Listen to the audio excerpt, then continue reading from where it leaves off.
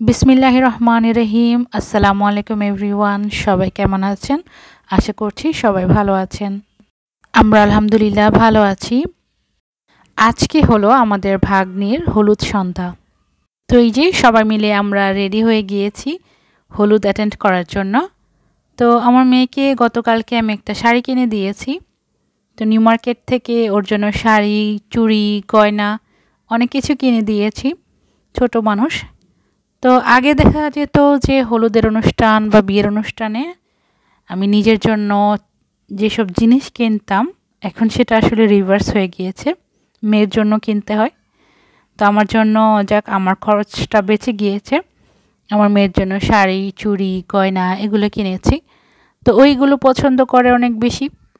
তো হলুদ সন্ধ্যাটা ছিল আসলে ফেব্রুয়ারি চোদ্দ তারিখের, না, পরে, পনেরো তারিখে। তো এর আগে পয়লা ফাল্গুন ছিল আমার মেয়ের স্কুলে। তো ফাল্গুনে ও সুন্দর মতন রেডি হয়ে যেতে পারেনি।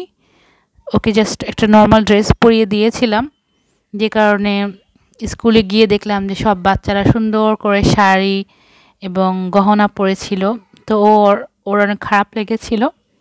তো বলেছিল, আমাকে একটা শাড়ি কিনে দাও। তো লাকিলি তারপরের দিনই ওর বোনের যে হলুদ।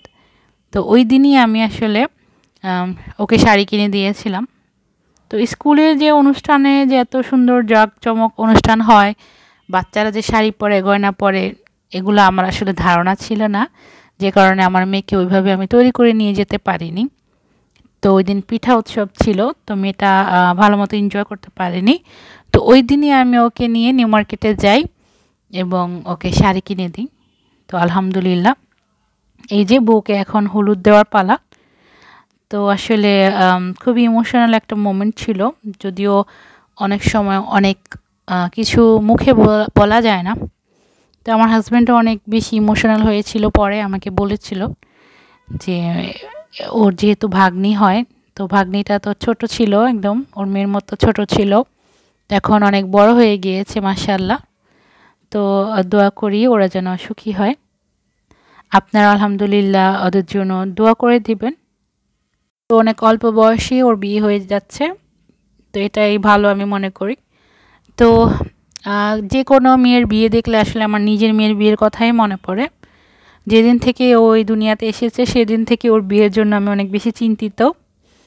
তো আমার মেয়ে আশা করছি, আলহামদুলিল্লাহ যদি আঠারো বছর বয়স হলে ওকে আমার বিয়ে দেওয়ার ইচ্ছা আছে, বাকিটা আল্লাহর ইচ্ছা। তো আমার মেয়ে নিয়ে আমরা অনেক চিন্তায় থাকি, বিশেষ করে আমি। ভালো পাত্র পাবো কি পাবো না। তো দোয়া করি আল্লাহর কাছে সবসময় যেন উপযুক্ত পাত্র পাই। তো এই তো বউকে হলুদ লাগিয়ে একটু খাওয়া দাওয়া করে, তো আমরা চলে আসলাম। আস্তে আস্তে রাত বারোটা বেজে গিয়েছিল। তো আশা করছি আমার ভিডিওটি আপনাদের ভালো লেগেছে। আর ভালো লাগলে অবশ্যই একটা লাইক দিয়ে দেবেন। তো আপনারা সবাই আমাদের ভাগ্নির জন্য দোয়া করে দেবেন। আর অবশ্যই মাসাল্লাহ বলে দেবেন। তো সবাইকে অনেক বেশি ধন্যবাদ এতক্ষণ ধরে আমাদের ভিডিওটি দেখার জন্য। তো সবার জন্য দোয়া রইল। আল্লাহ হাফেজ।